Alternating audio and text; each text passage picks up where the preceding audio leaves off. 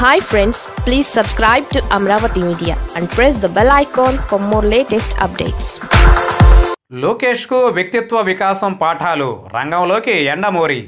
నారా లోకేష్ను నాయకుడిగా నిలబెట్టడం తెలుగుదేశం అధినేత చంద్రబాబు నాయుడుకు ఎంత పెద్ద సవాల్గా మారిందో అందరికీ తెలిసిన సంగతే. తన తనయుడిని మేధావిగా చెబుతూ వచ్చారు చంద్రబాబు నాయుడు.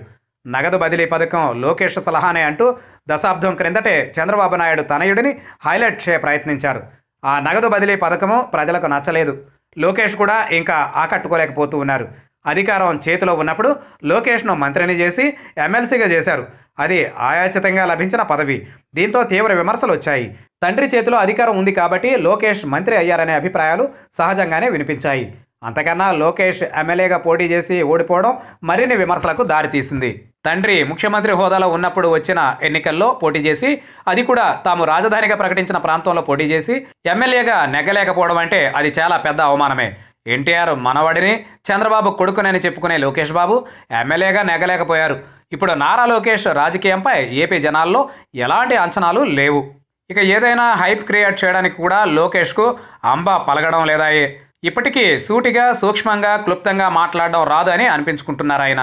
ప్రత్యర్థులు లోకేష్కు ఒక నిక్ నేమ్ పెట్టేసి ఆట ఆడుకుంటూ ఉన్నారు. ఇప్పటికే లోకేష్ మాటల్లో స్పష్టత లేదు. ఆపై ఆయన గత ప్రసంగాలు ఇప్పటికే నెట్లో వైరల్ అవుతూనే ఉంటాయి. తెలుగుదేశం పార్టీకి కుల పిచ్చి మత పిచ్చి బంధు ప్రీతి ఉన్నాయని ఒకసారి తెలుగుదేశానికి ఓటేస్తే మనకు మనం ఉరేసుకున్నట్లే అని లోకేష్ మరోసారి వ్యాఖ్యానించి ప్రత్యర్థులకు ఆయుధాలను అందించారు. ఇక లోకేష్ను మాటల పరంగా మెరుగుపరుచుకోవడం కోసం చంద్రబాబు నాయుడు ఇప్పటికే పలు ప్రయత్నాలు చేసినట్లుగా వార్తలు వచ్చాయి. అవేమో కానీ ఇప్పుడు మళ్ళీ మరో మేధావిని కన్సల్ట్ అయ్యారట. ఈసారి మరెవరనో కాదు ఎండమూరి వీరేంద్రనాథ్ను సంప్రదించారట. ఎండమూరిని తెలుగువారికి వేరే పరిచయం చేయనక్కర్లేదు.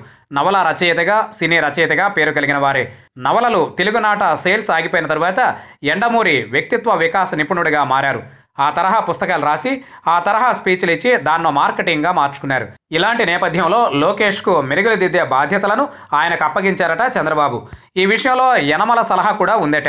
ఇప్పటికైతే లోకేష్ ప్రసంగించడంలో ఒక్కసారంటే ఒక్కసారి కూడా సత్తా చాటలేదు. ఇక ట్వీట్లు అయితే ఆయన పేరు మీద పోస్ట్ అవుతున్నాయి కానీ లోకేష్ మాటలకు ఆ ట్వీట్లకు ఎలాంటి సంబంధం ఉండదు. వాటిని ఎవరో గోస్ట్ రైటర్ పోస్ట్ చేస్తున్నారనే అభిప్రాయాలు కూడా ఏర్పడిపోయాయి. ఇలాంటి నేపథ్యంలో వచ్చే ఎన్నికల నాటికైనా లోకేష్ను వాగ్దాటి విషయంలో తీర్చిదిద్దాలని చంద్రబాబు నాయుడు తాపత్రయపడుతూ ఉండవచ్చు.